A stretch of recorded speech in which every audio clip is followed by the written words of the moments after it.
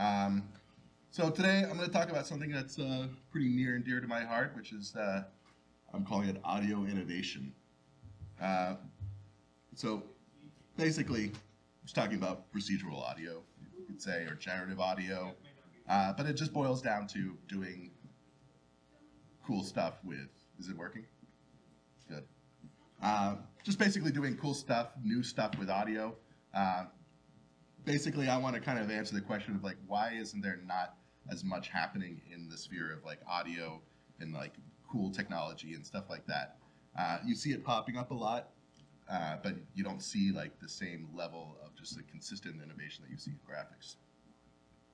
So, also want to point out that I'm not like advocating at all that generative audio, procedural audio is somehow better than anything that's like handcrafted because like there's always a place and time for everything. Um, so I want to know who, who's been in the industry for who's who's a student and who's been working uh, in the industry. Ever student? Raise your hands. How about that? Okay, okay. Who's in the industry then too? Are you guys working audio? Well, yeah, yes. I Okay. So who's optimistic about the future of generative audio, procedural audio? Okay. Who's pessimistic about it, you would say, or middling to pessimistic? I'm scared. Okay, cool. This is like exactly what my theory is, which is like, I'm, I'm wonder if this is the next slide. Yeah, sure. Faith that generative audio is really going to be a thing, plotted against years in the games industry. Start off zero years in the game industry, you've got complete faith. Give it a few years, reality sets in. So, um, so I mean, you just notice with like cynical, grizzled vets that um, people just get very cynical about the state of doing anything more complicated than playing back a sound. Uh, and it really shouldn't be that way. Uh, so I'll set the scene for when I graduated. I graduated from Berklee College of Music, uh, and then I started researching like uh, music technology at Georgia Tech. And when I emerged into the real world, I was ready to like do some amazing stuff with audio and games. Um, so I mean, I was. Oh, here we go.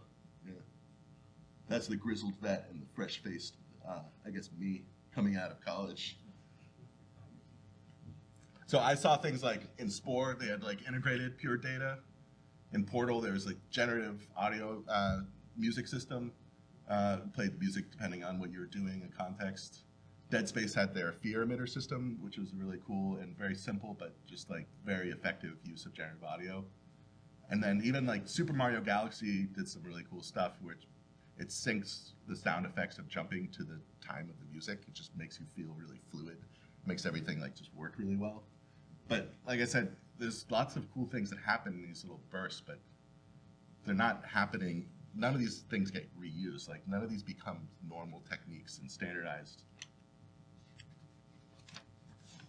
So started working CCP, uh, and I was using the latest middleware.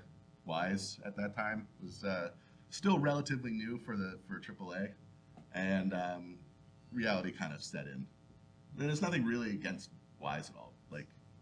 Um, yeah, I mean it's ugly, but uh, I mean Wwise is it's great in so many ways. But first of all, I mean it hasn't changed since I first started using it in any substantial way. Uh, and it's really just a glorified jukebox at the end of the day that has it has some good like routings and stuff and the profiling can be really useful. But I kind of have this view of that audio is stuck in the sprite era, right? I mean, in sprites, I'll just go to the next one. Sprites, you have uh, just you have a single image. You you uh, draw every single frame of animation. Uh, there's no way to kind of. It's not like a model where you can just smoothly animate it. Like someone has to redraw every single frame of animation, uh, and in that way, that's kind of like what audio is, because audio is just like, like the sprite is just a picture. Uh, a audio file just plays back, Uh, maybe you put a low pass filter based on the distance, but that's just like changing the color of the sprite or something like that. It's not anything super advanced. And um, that's basically the state of the state of audio is I see generative audio as something that is that switch between sprites to 3D graphics. Because right now, I mean, everything is basically handcrafted. That's our only real option. Um, you could do something like Spore and, and integrate pure data and have a generative audio system, but that took two and a half engineers over a year to do. Um, and there's other examples like in one of the Call of Duty games, I believe it is, like all the guns are a single impulse of a bullet leaving the uh, muzzle, and each sound sound, uh, sound of each gun is depends on the filters uh, based on the length of the barrel and stuff like that. So each gun has a unique sound, even though the source is only like the bullet leaving the same the same source for every single gun. That's a cool system. Didn't get reused. Uh, so I'll explain this in a second. So the more thought about this parallel between sprites and graphics uh, and audio, the more I notice that there's a lot of there's a lot of parallels. So before uh, in the you know in the early mid 90s and before, every single game basically had its own rendering engine. People would rewrite the entire game engine from scratch for a lot of games. Maybe you could get a couple sequels out of it. Maybe uh, you know if you had the the money to really invest in making stuff that was reusable by other people, then you could like package it and sell it as a game engine. But basically, the entire pipeline, graphics, audio, gameplay, uh, was done on a case by case basis. Uh, and that's kind of what audio is like still today. So if you write an audio system that's anything more complicated than just playing back a single sound or filtering it based on distance, you have to reinvent the wheel every single time. Like one common example that I use is there's the rule of three uh, technique, which is like if there's more than three sounds playing in a certain area, you can't distinguish between three or any more. You just hear a lot of shit happening in that area. So you switch. O- you can switch over to a kind of more chaotic sound in that area, you know. And so you have to figure out. You have to use the type of game objects that that game is using, group them together, figure out where the source is, convert to the other sound, and it's different for every single game uh, because there's this really tight coupling between the audio system and uh, and the game the game itself, which used to always happen for graphics. Um, so it's really easy to see why that happens because game development is just really really difficult. Uh, deadlines are always blown past. Things that features change, features get added, content comes in slowly, and then it comes in really fast in the last couple months. You know, it's just pure chaos, and uh, you never really have a full. Okay, this is the beginning of the project. In the beginning of the project, you architecture everything to be reusable. You architecture everything to be like beautifully designed, and then when the rubber hits the road, it's just a fight to survive.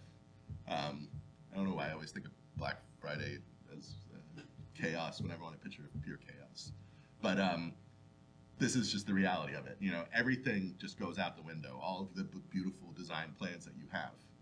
Um, so the life cycle of a good architecture task in game development goes from a must-have to a should-have to a could-have.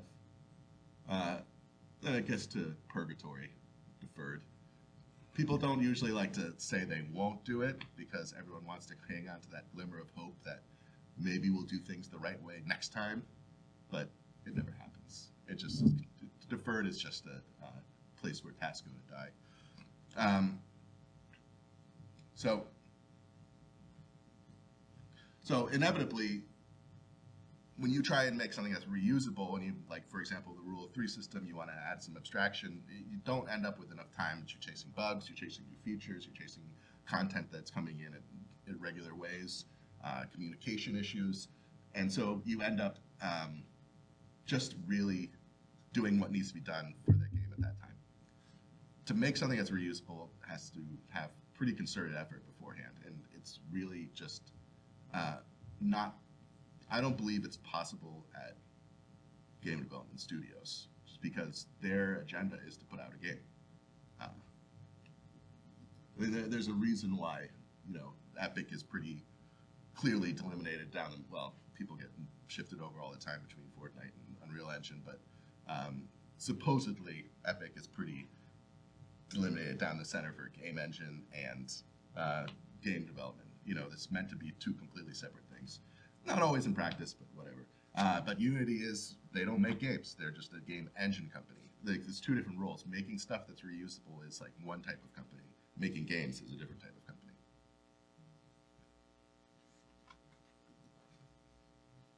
So, well, I'll step back for a second.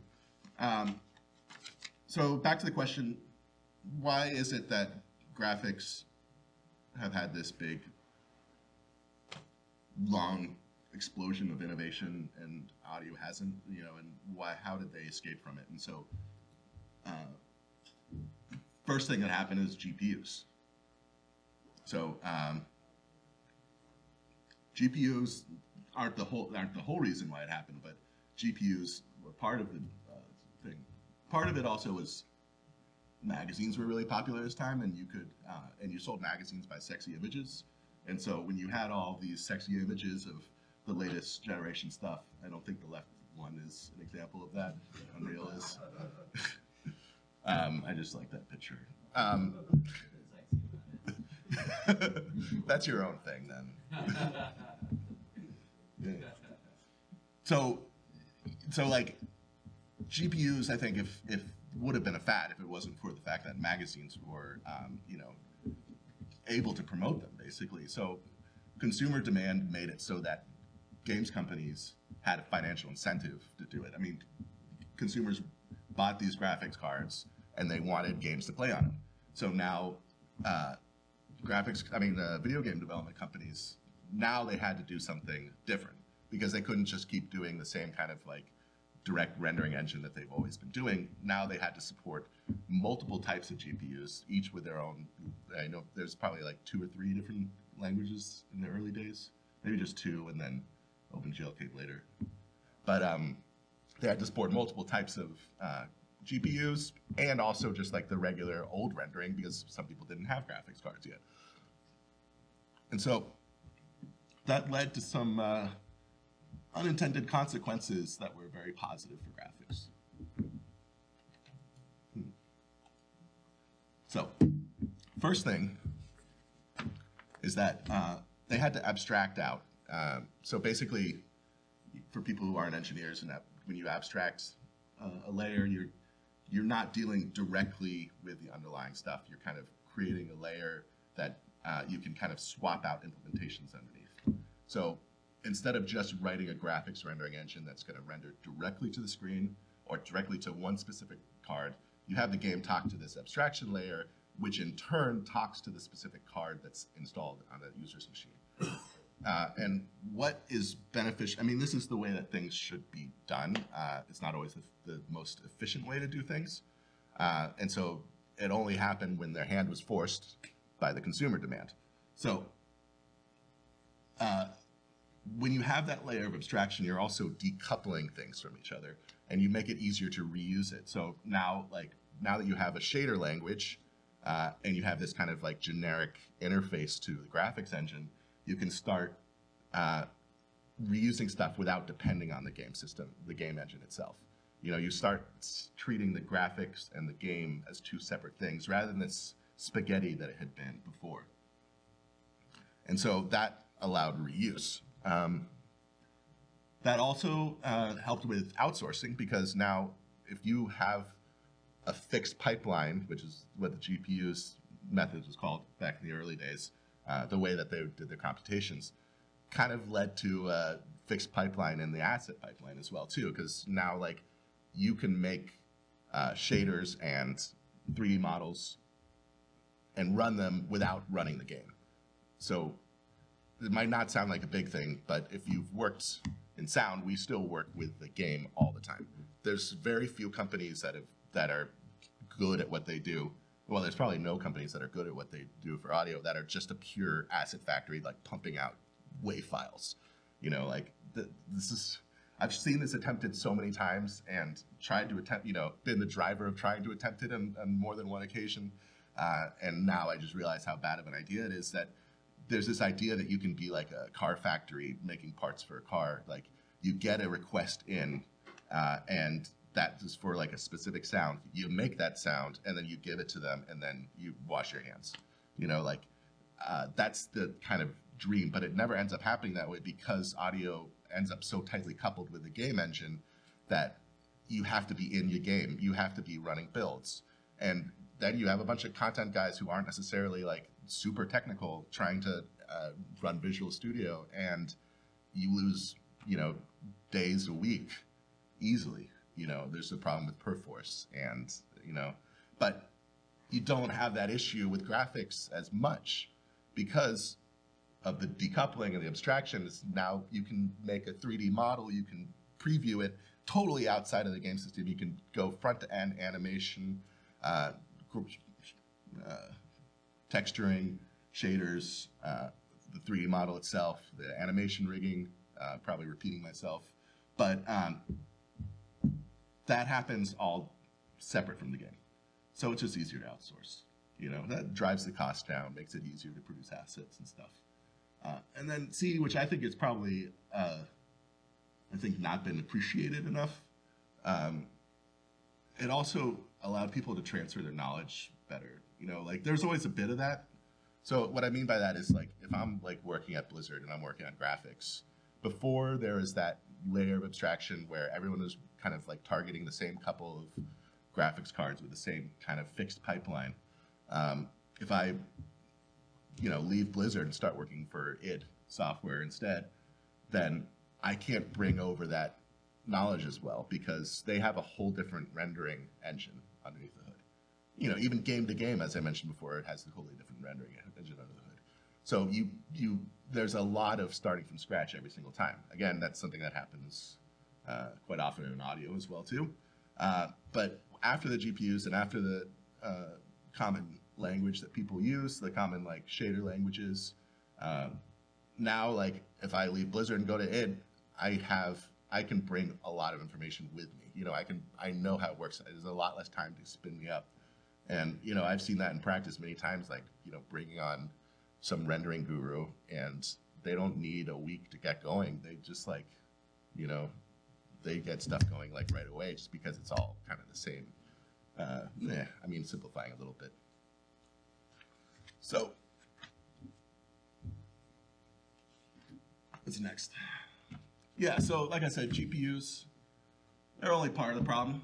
Uh, I'd say that uh, I'm, I'm kind of going to build this metaphor of uh, how do you start a forest fire.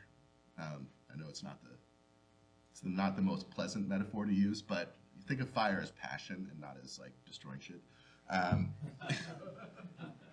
so, uh, so I'd say so in, in this kind of like you know we'll see how far the metaphor actually works, but uh, I'm trying it out on you guys.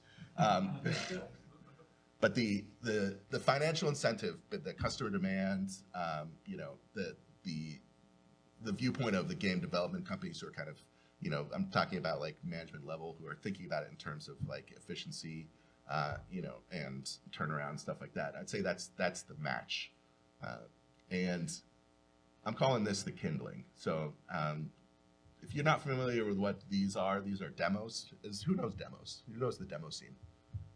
Okay, but you know of it. The okay, so basically demos arise, arose out of. Uh, I'll go to a short history. It came out of piracy.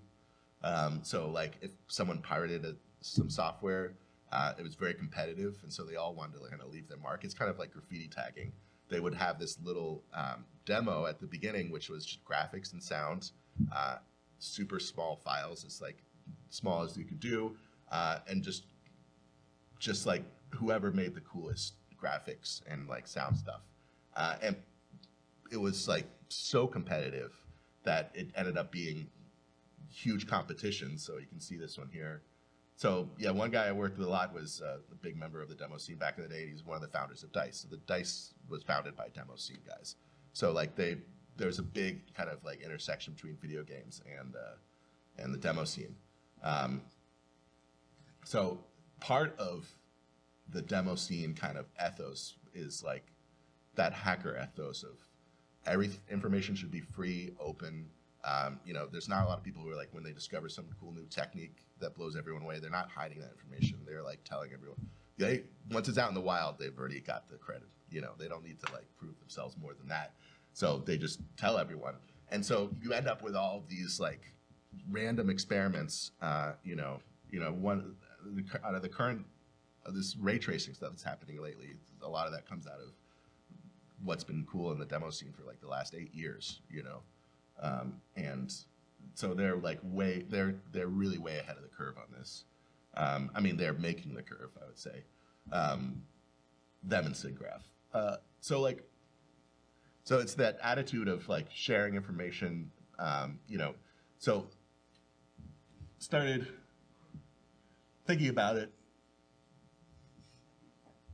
and um, yeah, and also SIGGRAPH is a good example too. So this kind of this way of working, the way I see it is there's a pretty low barrier of entry into this demo scene. You can make something in complete crap, put it out there. People aren't going to give you a bad time about it. I mean, it's pretty competitive, but like, you know, it's it's a lot of experimentation, and some of it works, most of it doesn't work. You know, some of it maybe only has application for one particular type of graphics that looks a certain way and doesn't have a limited use. At, it doesn't have much usage out of that. But like enough people are doing this, and enough people are trying to one up each other in a friendly kind of way, in a friendly, competitive kind of way, and sharing that information about how they did it, that like the techniques that are useful start bubbling up, right? They start getting used more often again in an organic way. Like there's no, there's no out, it's uh, there's no like outside force that's kind of picking which ones are the best ones. It's just they they have all very short-sighted view of things. They want to make a really cool demo, uh, and so they pick whatever techniques are going to help them make that really cool demo. So, um, so it's got this low barrier of entry, uh, very open about information, uh, knowledge sharing, uh, and there's a lot of small experiments that are happening. And so, so innovation, I started realizing like real innovation, it's like not that idea that I think a lot of us has, which is like it's driven by genius, right? I mean, Edison's a great example because, I mean, people might be pissed I'm going to put Tesla up there. I don't know. But um, Tesla, Edison, I think everyone can agree on is a good example because he didn't invent any of his stuff, but he was he kind of organized people and then took the credit. I think most of the time, but um, it's not the work of people dictating what the new, unless you're John Carmack. Um, he's the only one who can do it. Um, instead, it's what I call a collaborative iterative process. So, I mean, SIGGRAPH is also got the same kind of ethos. And I think there's a lot of merging in between the demo scene and, and SIGGRAPH as well, too. I mean, SIGGRAPH's been around for a very long time. Uh, I think like 1969. Um, but the flavor changed a lot when the demo scene kind of hit, its apex. Uh, and I think the, a lot of the energy that you've seen over the last 20 years there is from uh, that kind of like hacker ethos, um, combining with more scientific view on things. Um, and you look at some, a lot of this SIGGRAPH stuff, a lot of them are, a lot of the talks that they give there are dead ends as well too. But that doesn't matter. That's not the point. Doing something new is important, not necessarily doing something that's going to be lasting or important, right? It's like, like I said, short-sighted in a way, but it's it's the communal aspect of it. It's the um, collaboration. Uh, the good ideas bubble up and they become the foundation for the next things. Like we only stand on the shoulders of giants, really, or I guess not on the shoulders of giants. We stand on a pile of people, a pile of dwarves. so, um, so I'd say that's the that's the kindling, right? I mean, this is okay. This is the this this community is the is the forest, the forest burning down, right? This is the fire catching on all of them. So, in my kind of admittedly half-assed metaphor, you have three parts of it, right? The match, the kindling, and the uh, forest. So for graphics, we looked at that, right? I mean, the match was the customer demand. It's driven by magazines. Kindling were the shared shader language, GPUs, people communicate about it easily. Uh, and the fourth is just the sheer number of people involved in the community. Same thing kind of happened in iPhone. You know, iPhone, in early days of iPhone, it was a lot of really gimmicky, stupid ideas. I mean, not stupid. There were just people were just going way too far with the new new stuff, and that wasn't necessarily a bad thing. It was short sighted, and it doesn't matter because the good ideas that came out of that period bubbled up and got reused, and you know, app development became more refined over the years, and so like all that continual process of experimentation is what leads to like lasting innovation because it always it, it brings the foundation up higher and higher. Um, Unity, I just threw that in there. It's Unity. So anyway, oh, it goes right to the end. I think I uh, ran out of time to keep making slides. Let's see what my notes say here. So, um,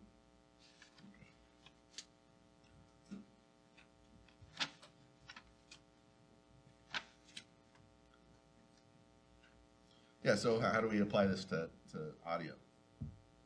So, um, I don't know. Everyone, I think a lot of people have an idea that audio is somehow different than other things. Um, it's somehow a special case, and um, maybe they think not enough people enjoy audio to kind of drive the demand, or I don't know what it is, or maybe it's just maybe it's just being in the back room for long enough. You start, uh, you've been down so long, you start feeling like up. Um, I don't know, but I truly believe that this what we've seen happen in graphics can happen in audio. Uh, I think that there are, based on my experiences talking with users of the games and like gauging with them, I feel like maybe four out of five, three or four out of five people are into the graphics, and then there are people. There's a, a significant group, of people who care more about the audio than, uh, especially now with uh, you know multiplayer games, uh, because audio gives you information that you can't see visually uh, in the 360 way. So if people really rely on like clean audio for uh, multiplayer games to kind of get out of the battlefield awareness in a 360 way. So I think people uh, especially care during multiplayer games, but you know, people do care about audio, and um, so the, the match is the kind of customer demand, the kind of financial incentive, um, or it could also just be making audio is super expensive, hard to outsource. Let's make it more efficient, right? Um, so, but I think like you could build. I think there's a good opportunity right now to be building uh, customer demand by like doing stuff that would appeal to YouTube streamers. I mean, having having kind of like like I said, gimmicky isn't necessarily a bad thing. Have something that's kind of gimmicky that would like work really well on YouTube, at least for a short time uh, might get people more interested in, in audio systems and kind of because people are always streamers are always looking for the newest thing like to show off. Uh, people like to own what's a, something that they found that's funny or uh, different in some way. So um, so I think like there's an opportunity both in YouTube streaming and stuff like that, which could be today's magazines essentially, and um, but also I just think in just reducing efficiencies makes a pretty strong financial incentive. Uh, so the kindling would be the kind of like standardized language. It's kind of the the threads that run through all of this stuff. Um, and well, I don't want to make this about what I'm doing, but that's kind of what I'm doing. So come see my talk later, and you can see what that's about.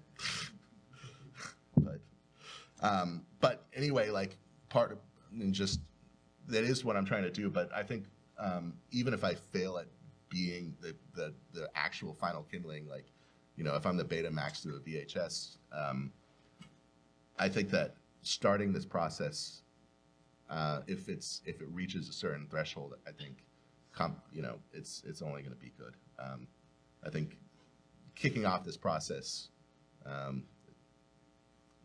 can be a really good thing.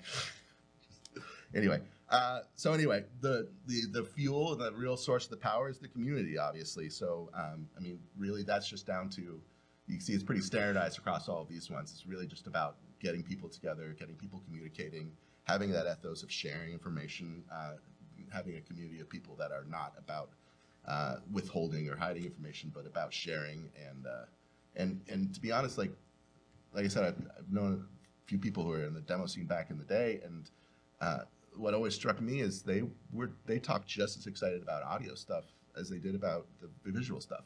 The visual stuff is what uh, kind of went somewhere, uh, and and audio stagnated. But I don't think it's because people didn't think there were unique and challenging problems there. I think people, um, you know, that's just the direction. Well, from what I talked about earlier in the talk, that's just um, a few coincidences that happened at the same time that led graphics to being uh, exploding more than audio did. But but there's that same ethos for audio and and uh, the demo scene and stuff like that from back in the day. So um, so about the community, like we have um, in the 90s too, before GPUs, you you had um, anyone who was like a 3D modeler or animator or rigger or stuff like that. They were probably thought themselves almost. Uh, there's a a few exceptions, but almost everybody thought of themselves as an artist first. They were probably trained at conservatory or they like learned traditional art first, uh, and then they kind of like learned technology because that was where some opportunity was, or it seemed like a cool place to go. But the idea of like someone starting a career and like looking forward to, and like having dream of having a full career as like a 3D modeler, a 3D animator, or just a digital artist in general, like it barely existed before GPUs. Uh, and so I think that right now, um, that's what I was saying earlier in a talk where I think the idea of like handmade, uh, sample by sample audio is still something that is relevant just as much as artists are still relevant in the digital age. Um, but I think that if there's a good platform, if this if there's this uh, right set of conditions, it could be a different type of role, which is like not someone who's uh, just creating pure content, but creating generative audio content. So um, I've been using this phrase um, lately, like a digital luthier, where luthier is like an instrument maker. So um, the digital luthier is someone who would be like uh, a 3D animator or a tech artist or something like that. So, I mean, and obviously, you know, if this, the right conditions happen, it would have to be uh, people who are from the pure content side turning over. But I think, you know, give, if this actually happens, then it's like it would be a, a role that gets created and has like a specialist that is all about. You know, you have someone who is doing the kind of like handcrafted audio stuff. You have someone who's who's like doing the variations or the generative stuff on that. So um, I guess that's just about it. Um, so I mean, my goal really was just to convince uh, everyone that audio is not inherently different than any other thing. That that innovation can happen in audio, uh, and that it's really just a. Uh, I mean, in, in, in retrospect, I think after something like this happens, it'll be obvious because I think it's like inevitable that will happen. Maybe it'll be 50 years, but whatever. But um, yeah, so I just wanted to say it's like you look back at graphics and you say like, well, of course graphics did that. You know, of course they've had a 15 year streak of, of which is kind of slowing down, by the way. But like, this, they're running out of kindling. Um, but it's easy to do that in retrospect. There's just a, a couple things, stars aligned in a certain way to make it happen at that point. The fact that it hasn't happened at this particular point isn't necessarily any judgment on audio or any any like doesn't make audio different or anything like that. We're just we're in the middle of it, so you don't you know you can't see the whole picture. What's up? You ready for questions?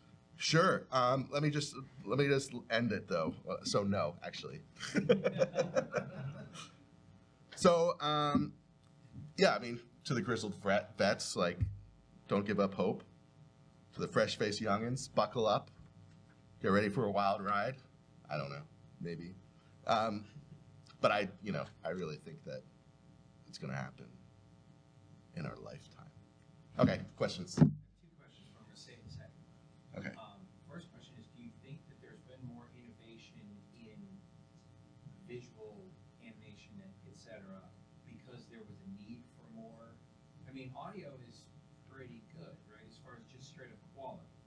Yeah. The second question is what kind of innovations we're talking about, but I'm saving that. As far as audio quality, right? We, yeah. we listen to audio. Audio can be really good, high quality, high fidelity, and it has been yeah.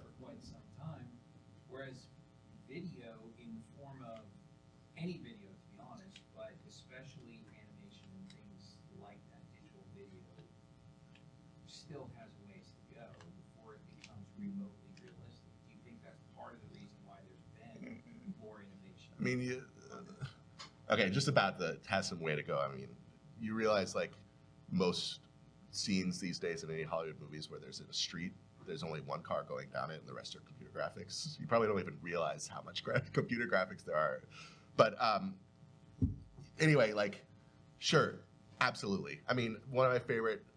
I usually hate footsteps, but in, in Soma, um, the the footstep li- like sample library is larger than the the visual assets. He's like every single footstep was recorded in the space that corresponded to it in the game. There's no like, there's no DSP added, and and uh, you know like it's the purest form of just like complete source microphone, clean location, low background noise, like and it was beautiful. Like some of the stuff Andy did with the witness in similar way, like it's beautiful. Um, and and but also like there's so many games made with sprites that are gorgeous too. You know, like Final Fantasy.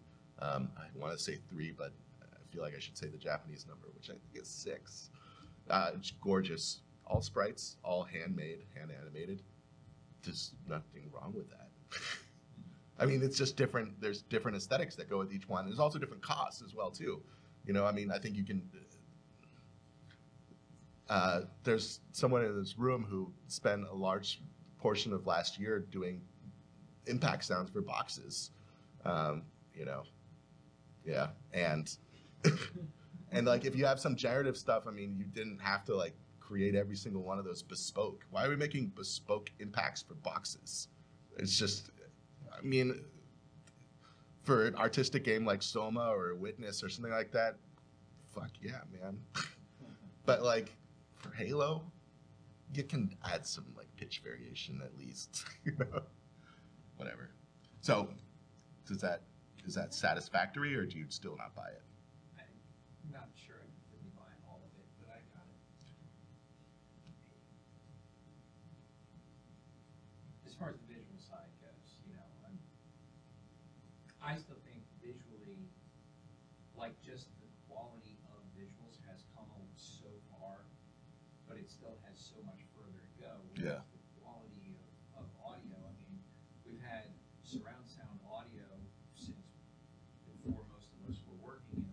Sure. You know, we Yeah. had, okay, so now we put a couple speakers up above you, and now we've got techniques that can theoretically bring some of that into headphones. Okay, so we've, we've had those types of innovations, but as far as straight up quality, Yeah, I'm not including that as in, yeah, in that. there, that- there's But not. okay, just quickly so we can get to other questions as well Right. too. But um, I mean, I would say like yeah, there's always, there's going to be a step backwards uh, because, but I mean, you you have like some Dutch art, uh, painter making photorealistic light bouncing off of there, and then you go to like the first generation of 3D graphics, the Unreal image I showed before. You know, like yeah, there's going to be a step backwards, right? And we're still like graphics; they're still you know, trying to reach some of the heights that for it's true.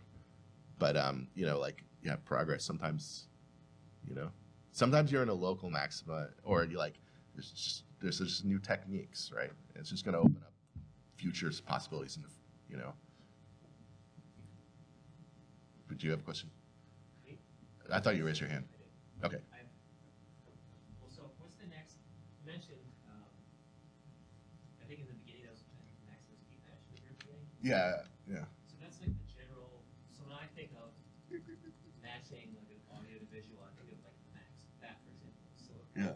you said there's, so there's stuff in Unity or Unreal where you test a visual thing, model, or animation making, without putting it in the game, you can't do that with sound. What's the next step towards like creating that for sound? Like, Yeah, well, that's that's what I'm working on, and I don't want to I don't want to be like an advertisement thing, but like you can come to the other talk and see Oh, oh, well you're too. running. Yeah. Okay, my question. I'll your talk. Um, Yeah, I mean, I, I think yeah, the, I, that's and I did that just because I got frustrated with the games industry. ah, okay, Yeah, okay, okay. yeah, My second question was, so you showed the magazines as like back in the nineties, it was all the graphics wars. Yeah.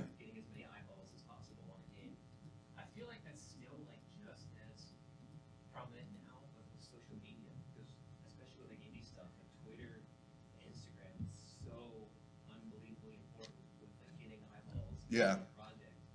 And like sometimes you have a game like it looks so awesome visually, and the artist like even the concept art looks so amazing. It has like three hundred fifty thousand likes or whatever. The audio doesn't even exist yet. Yeah. I think that is like, I don't know, in my head, that's like the logical progression from that. It's just that people are still, people love audio, and there's definitely tons of like game audio, you know, fanatics and opponents and that. But I think ultimately, because games are still like a, a visual medium more than an auditory medium, it's, it's so, like, so for me, like, I'm trying to get Instagram as like a sound designer and a composer, but it's really hard to create a 20 second video on Instagram that like catches people's eye. Yeah. It's just my DAW, or me like playing guit- guitar. It's like a cool effect or like a gift. Or Sure. Yeah. Okay. I mean, that? I mean that's that's exactly um, what I was why I said that YouTube streaming or Twitch TV streaming and stuff like that would be the avenue to kind of to do start playing around with stuff because that's where people do have the audio on and are playing it, and it's like I think um, I don't know I think a common theme in a lot of this stuff is like um, people are kind of attached to an older way of doing things, and I think it, that the Instagram way is kind of like uh, it's a modern tweak on a on a on the traditional advertising way, right? It's like doing traditional advertising but through a new medium. But like now, people don't, aren't glued to the TV; they're you know they glued to their phone, which they probably have the sound off and stuff like that. So I mean, yeah, it's an issue. Um, but yeah, so, but that's why I think YouTube streamers, or I should just stop, just say streamers, are probably the best avenue to kind of like get that, um, kind of like get people excited about it because that's probably the only place where people do have consistently have the sound on. and yeah, I mean, and like I said, like like I said, like one out of five, to, one to two out of five care about the sound. You know, three to four just care about the visuals and don't care about sound. Yeah, Right. all those black market flat screen TVs. Who has those in their houses? Like one out of every ten people has the sound bar goes with it. It's Yeah, you yeah. And now I know you're an audio guy.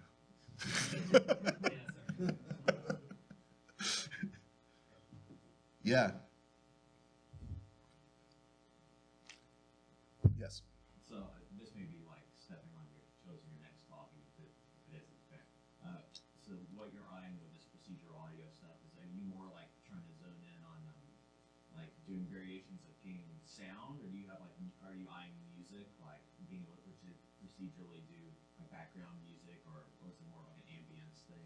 Yeah. So okay, um, I'm fine. I'll just do it. Um, I just didn't. It's not that I. It's not that I'm like stepping on the toes. It's that I wanted this to be really conceptual and not because like literally um, what I'm doing is because of this, and and I'm not trying to.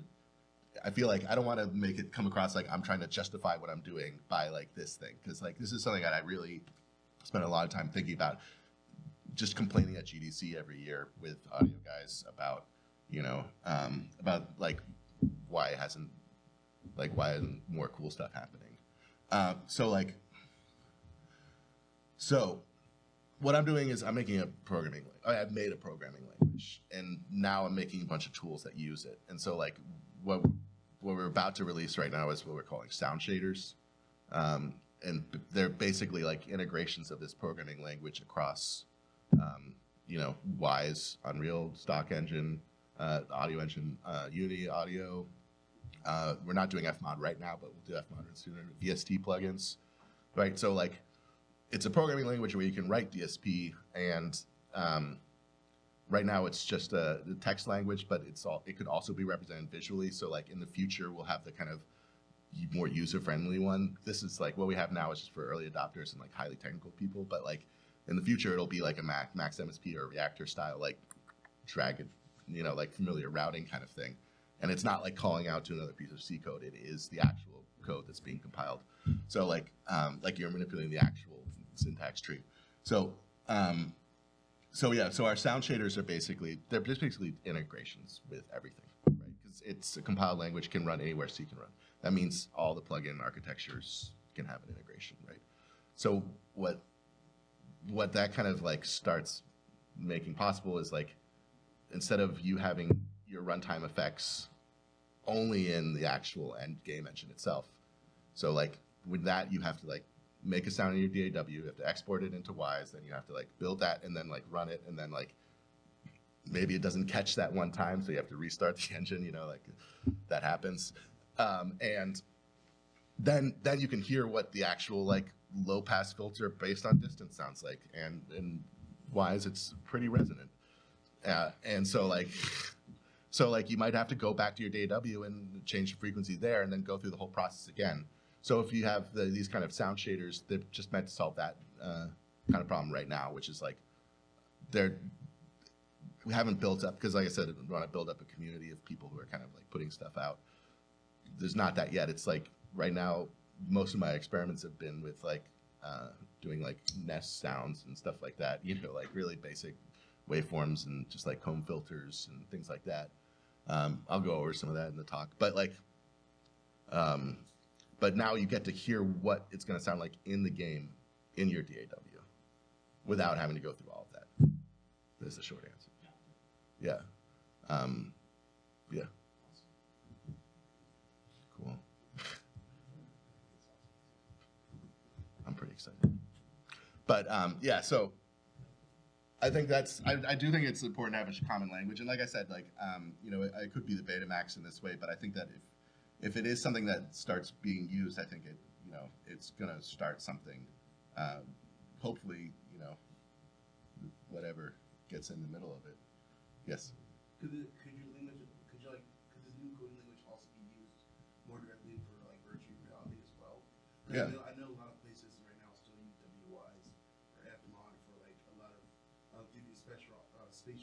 Yeah, yeah, yeah, yeah. Yeah, yeah. Right. Yeah. So for right now, like we're not trying to.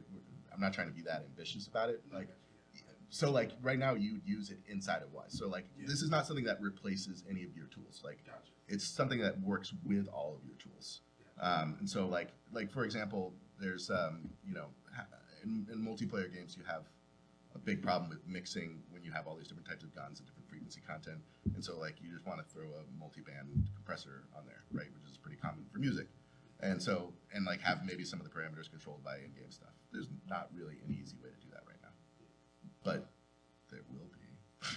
Whatever but yeah, so like when it when it comes to VR and like the spatialization, there's or as far as spatialization goes, like some of the improvements over the last like four or five years have been um, pretty stellar.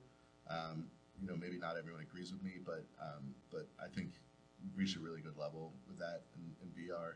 This is a whole other conversation. Um, but the, I, I don't want to like be repeating any of that work. I'm not going to be repeating any of that work. We're going to like you can keep your source generation in Wwise and use their existing stuff like that, Yeah. right? So like it plays nice with other things that do those things. Yeah. Any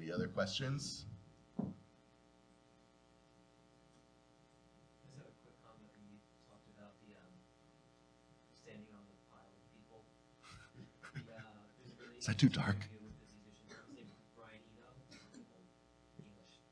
He's the- Troll. Yeah, he's like a troll. Or something. Yeah, he's, Yeah. he's awesome though. Yeah. He is. Oh. I said tro- like a troll. He always looks like a gremlin to me or something. Oh, he, he is troll like and bald and old. And uh, he, um, he talks about how he, he feels like talks about Picasso and Rembrandt. I think he brings up Edison, like Stockhausen, and how he uses the word genius instead of scenius. It's like his own phrase. That's perfect. It's like the same thing that you said, except in a different way. It's like all those people, there's always an exception, but like for the most part, like most of those people people consider geniuses now, or which is part of the scene. Yeah. Part of the greatest scene. Yeah, it's beautiful. Andrew, is there any specific experiences you've had throughout your career that drove you to this state of wanting to innovate with Yeah. sort of like this? Yeah, so? I mean, so like I have a background in doing programming kind of, and like so basically it's like and then but I'm also a trained musician. And so like I just got tired of complaining about not having cool toys. and like I think there was there's you know we, it was the middle of a conversation I remember it's like I literally said like someone's got to fix this and then like afterwards it's like yeah there's probably like a maybe like 50 to 100 people worldwide who can actually do it, and then like of those, how many actually like have the financial incentive to, I mean, you know, like ability to like step away from work for a little while to do it and like take the risk on. And so it's like, yeah, it's probably not many people worldwide who could actually do it. Um, and so I was like, I just felt like I had, you know, I felt like it's just something that I had to do, basically. That's how I felt. I want to, yeah. Right now, the language is proprietary. I mean, I'm sharing it with some of my friends, but like, yeah, the goal, the goal is that, um, I mean, fine to get into this, but like the visual editor that I talked about that looks like an XMSP, like I wanted that should be like a low subscription fee, but then like the actual like text language, if you just want to use it without a profiler or anything like that, I just want it to be completely free and I want it to be open source so that people can like con- con- contribute to the design of it and stuff like that and help guide the direction. Because like I, didn't mention it, but like one of the things that I found across all these things is that nobody can predict which of those like and I said like there's a lot of experimentation. Some of the good ideas float to the top. Nobody can predict which what those good ideas are going to be. You know, you're fighting a losing game if you try and like predict what that's going to be. I mean, I mean, you see that cycle happen all the time. Like VR was like a little bit too early, a little bit too much money in it, and like whatever. Like it all. So basically, yeah, I really want it to be open source, not just be like get it in more people's hands because that's good too, but like also because I want community to be driving the overall direction of it, which means like there would be a little loss of control in that way, but like. But if there's a subscription fee for like the easy to use one that has like more profiling, debugging kind of tools, then like I feel like uh, it could all work out pretty well. that's the plan, at least. But yeah, that's something that, um, yeah, uh, I, I need to find the right lawyer to talk about that with because it has to be done the right way. That like, there's like one problem with open source. Sorry, I mean, don't get me started. Um. I mean, there's it has to be done in a way that the people that you people trust that it's still going to be open source because like people won't want to be involved if they if there's like language in there that's like CYA stuff that's like someday they might take some of that make it proprietary again or fork it into a proprietary thing and and so like it has to be done in a way that like truly is open source like truly is going to be owned by the community so yeah but that's that would be the goal that's the goal yeah. Thanks for asking that. We wanna get you to go down one of those rabbit holes that you can't get out of, don't you know? Well, there's only a few more minutes here. Uh, later. Over beers, maybe. Okay. I'm done.